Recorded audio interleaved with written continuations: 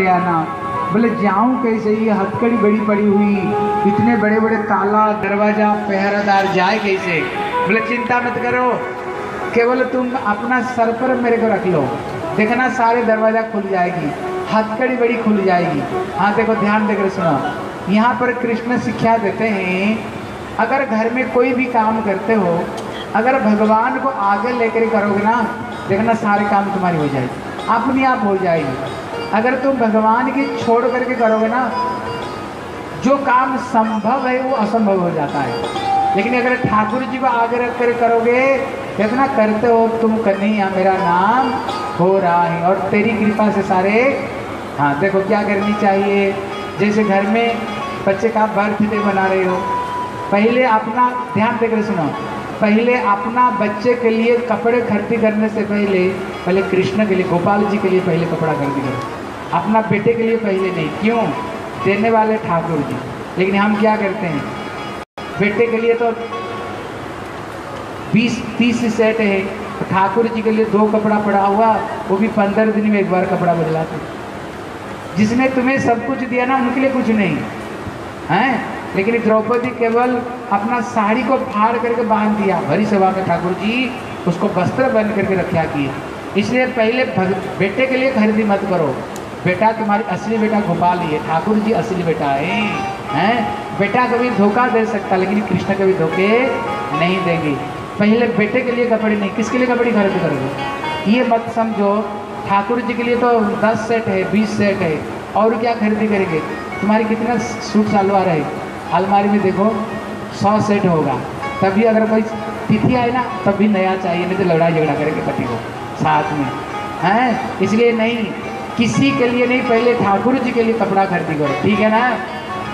पहले ठाकुर जी को श्रृंगार करो। ठाकुर को श्रृंगार करोगे तो अपने आप तुम्हारी श्रृंगार हो जाएगी, हैं?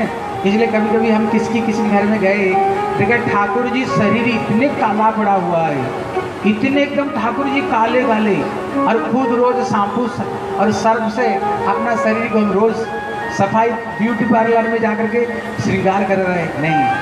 बोले ठाकुर जी को अच्छे तरह से रोज रोज ठाकुर को स्नान कराओ। जब ठाकुर जी काले पड़ जाए ना ठाकुर जी को अच्छे तरह से दूध से, नहीं, दही से, नहीं तो नींबू से रगड़ रगड़ करके ठाकुर को साफ़ करो। ठाकुर जी साफ़ हो जाओगे ना, अपने आप तुम भी साफ़ हो जाओगे। अगर तुम ठाकुर जी साफ़ नहीं, अगर तुम अपना शरीर को रगड़ते हो, एक दिन शरीर से नष्ट होने वाले। इसलिए बच्चे का बर्थडे, नहीं तो शादी बना रहे हो। पहले खाना जो बनता है, ठाकुर जी को भोग लगाओ। दुनिया को पहले मत खिलाओ। पहले किसको खिलाओ? दिया ठाकुर, पहले ठाकुर जी को भोग लगाओ।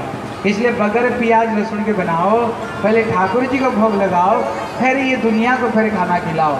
अगर भगवान के लिए करोगे ना, ऐसे नहीं डिस्को डांस उल्टा पुल्टा डीजी फिटी चला, नहीं।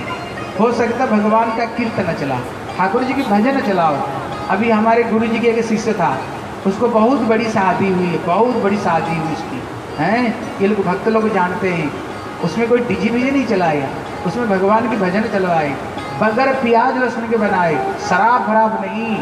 भगवान को भोग लगाए ठाकुर जी को, और वो प्रसाद पूरा पार्टियों को पूरा हाँ बरातियों को उन्होंने भगवान के प्रसाद खिलाए। क्यों? वो शुभ विवाह है। अगर वो शुभ विवाह में अगर तुम बोतल तुड़वाओगे शराब पिलाओगे, इतना मांस खिलाओगे, तुम्हारी शादी कभी सक्सेसफुल नहीं हो सकती। है वो बिगड़ेगा ही वो शादी। क्योंकि तुमने इतने पाप हो, तुम उसी के लिए इतने पाप कर्म करा रहे हो। ठीक है ना? इसलिए सबसे पहले भगवान, फिर हम। पहले ठाकुर जी फिर हमारी। पहले हमारी नहीं, पहले ठाकुर जी फिर तो तुम्हारी काम बढ़िया होगा। इसलिए सारे हथकड़ी बड़ी खुल गई, दरवाज़ा खुल गया, पहरादार सो गए। बस भगवान को लेकर वसुदेव महाराज जा रहे। ले आ। बोले श्री कृष्ण के नैया लाल की जय जय श्री राम हाँ देखो कल राधा रानी जन्म लगी कौन सा रंग की साड़ी पहन करके आओगे गुलाबी रंग की और जल्दी जल्दी है ना लेट नहीं है ना राधा रानी की कल सवेरे भी नंद उत्सव होएगा इसलिए सबके सब जल्दी जल्दी आना। बोले श्री नंद बाबा की।